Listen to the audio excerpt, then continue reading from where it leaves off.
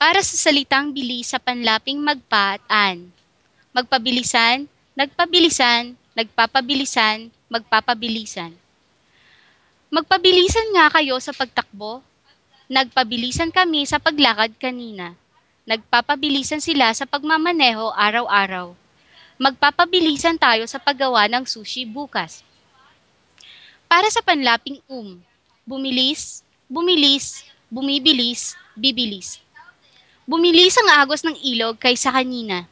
Bumibilis ang galaw ng baywang niya unti-unti. Bibilis ang pagsasalita ng babae kapag kinakabahan. Para sa panlaping an, bilisan, binilisan, binibilisan, bibilisan. Bilisan mo, bilisan mo. Binilisan niya ang paggalaw ng kamay niya. Binibilisan ni Omi ang typing niya pero mar- maraming mali. Bibilisan ni Ira ang pagsasalita niya para matapos agad ang trabaho.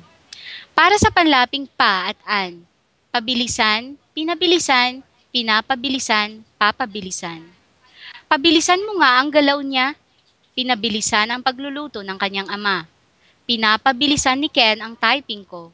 Papabilisan ba niya ang pagkanta ko?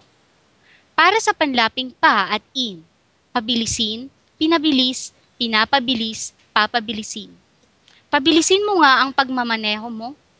Pinabilis niya ang proseso ng pagluluto ng sushi. Pinapabilis ng makina ang trabaho sa pabrika.